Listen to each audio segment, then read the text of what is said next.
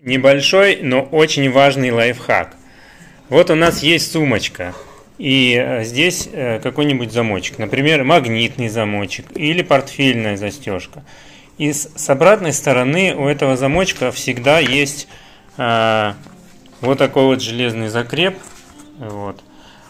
Можно вообще на это наплевать, и пусть этот закреп будет внутри, его не видно и так далее.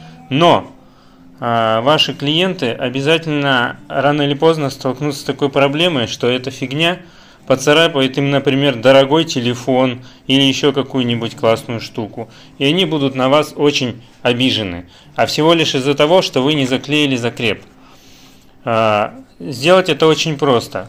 Смотрите, а, берете такую же кожу, вырубаете, вырезаете вот э, кусочек, такую же кожу.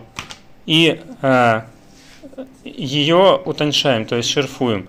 Но а, не с этой стороны, как обычно, а с этой, чтобы остался вот этот вот за, задняя сторона. И она бы почти была незаметна.